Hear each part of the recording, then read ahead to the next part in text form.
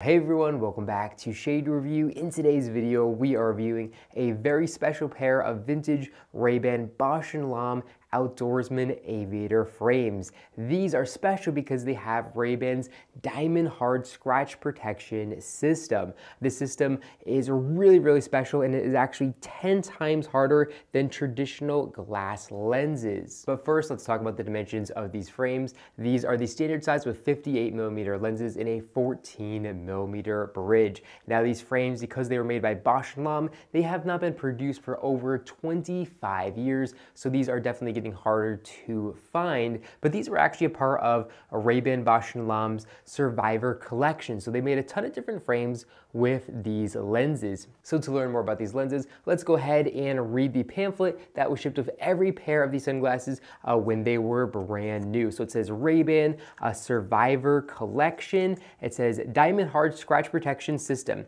10 times harder than ordinary glass. Congratulations, you are now the owner of a pair of Ray-Ban Survivor sunglasses featuring diamond hard scratch protection system. This system uses an advanced ion beam deposition technology which applies a surface of amorphous diamond making your glass lenses 10 times more resistant to scratches. The lenses are also hydrophobic, shedding water more easily. This property reduces water spots and makes cleaning easier, so your sunglasses are perfect for the beach. This technology was originally developed by NASA and is exclusive to Bausch & Lomb sunglasses. So definitely some really interesting information here in the little pamphlet about these lenses. Now probably one of the coolest things about these lenses is the little diamond logo next to the Ray-Ban logo here in the top right corner of the lens that's going to be found in every pair of authentic uh, sunglasses that have Ray-Ban's diamond hard scratch protection system and it just looks really really cool. I remember the first time I saw this logo like 15 years ago I was like, whoa, what's that? And then I was first introduced to kind of the,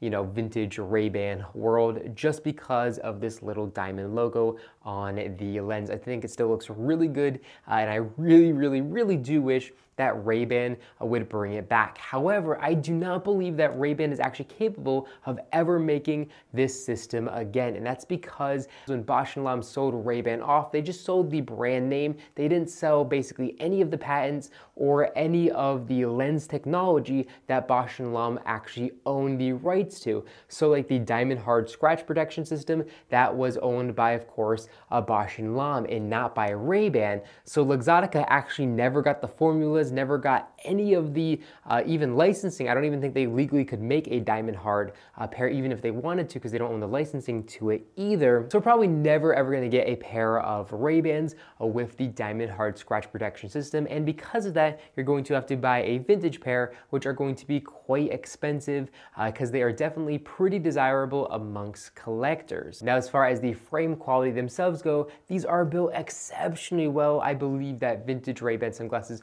were built a lot better than the modern ones. The build quality is just better across the board. And then of course all the lens technology that Bausch & Lomb did uh, back with their vintage Ray-Bans as well is just absolutely incredible and definitely better than modern Ray-Ban sunglasses in my personal opinion. Now as far as the exact colorway that I have in today's video, these have Ray-Ban's gold frames uh, with their black sweat bar here up at the top. And then as far as the lens color here goes, these are actually just a traditional uh, Ray-Ban G G15 gray lens, which of course is going to block 100% of UVA and UV rays, which are extremely important for your eye health. And they're going to block 85% of visible light. That's the name G15. And this is just the standard, uh, basically G15 lens with this beautiful kind of gold silver metallic coating to the lenses. This uh, coating is actually the uh, diamond hard scratch protection system itself. Uh, so that's actually what you're looking at. And you're actually looking at diamonds. You're literally looking at diamonds and looking through diamonds when you're looking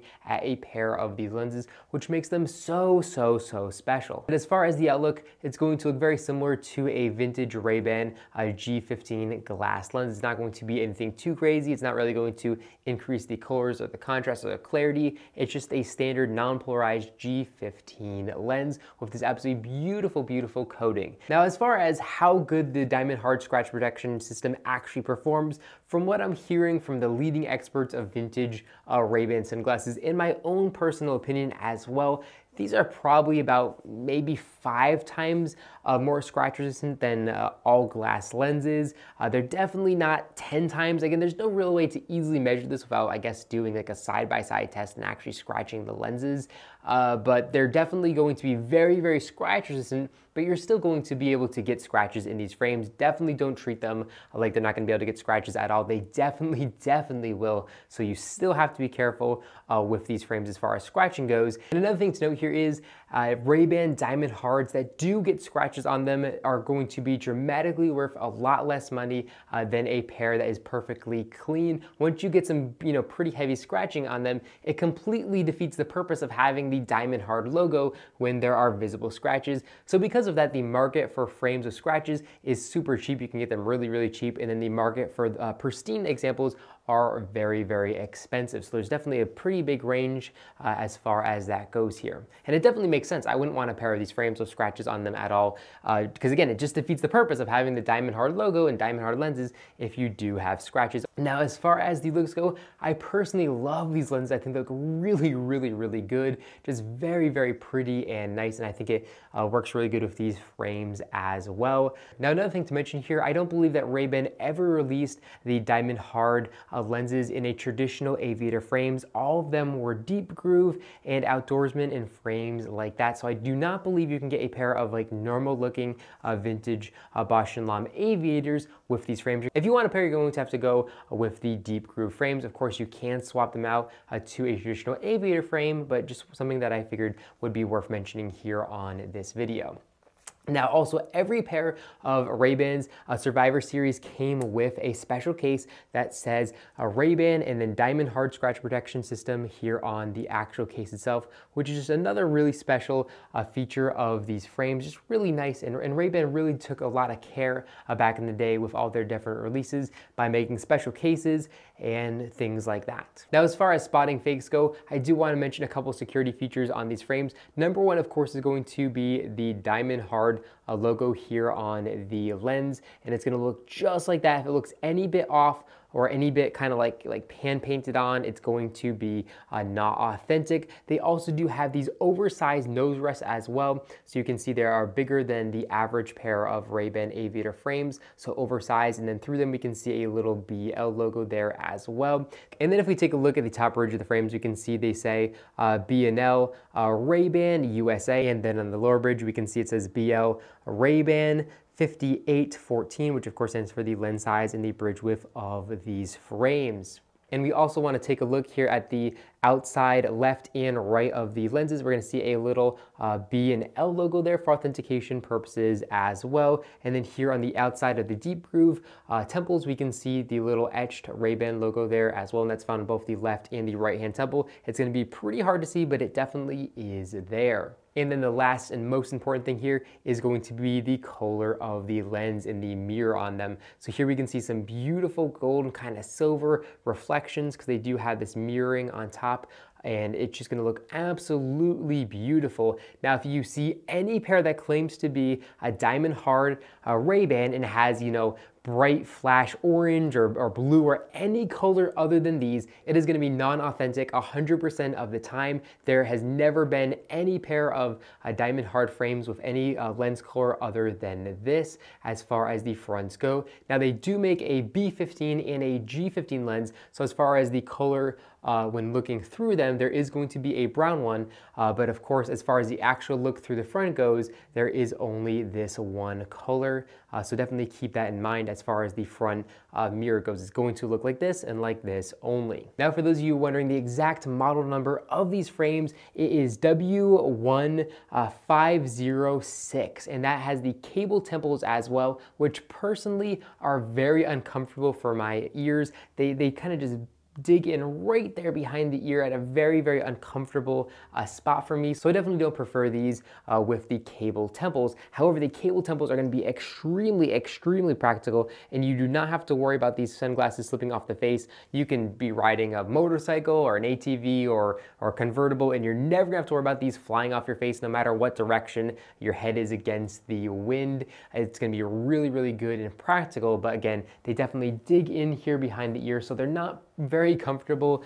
uh, for me, and that's why I definitely prefer the traditional uh, temple tips uh, on a pair of these sunglasses. Now, as far as the hydrophobic coating goes, these work really, really good. So it's super, super easy to take a cleaning cloth and just remove all the oils and all the water and all the dirt very, very, very easily. It's gonna basically just wash off. Absolutely incredible. And this technology is not even applied to modern uh, G15 Ray-Ban sunglasses, for example. Uh, so these are gonna be much easier to clean than even a modern pair, uh, which again is really, really impressive. All the technology that these frames had even 25 years ago.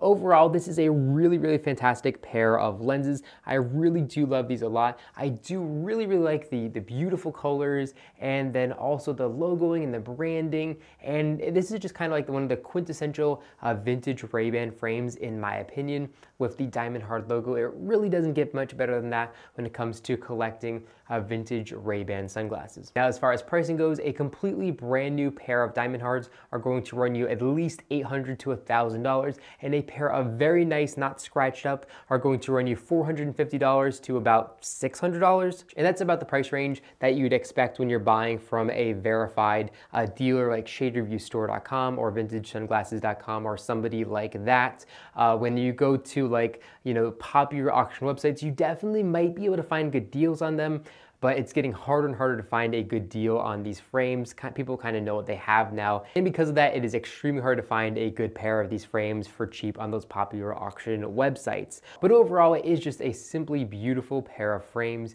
And uh, yeah, I really do like it a lot. If you own a pair of vintage uh, Ray-Bans uh, with the Diamond Hard Scratch Protection System, let me know in the comment section down below. I'd love to hear what you have to say about them. And also, if you own a pair, let us know what you think about it in the comment section down below. I'd love to start a conversation there. But that's all I got for guys in this video. If you enjoyed it, make sure to give me a big thumbs up below. And of course, make sure to hit the subscribe button and then you'll be notified every single time I upload a brand new video just like this one to our YouTube channel. Again, thank you all so much for watching and I'll catch you all in the next one.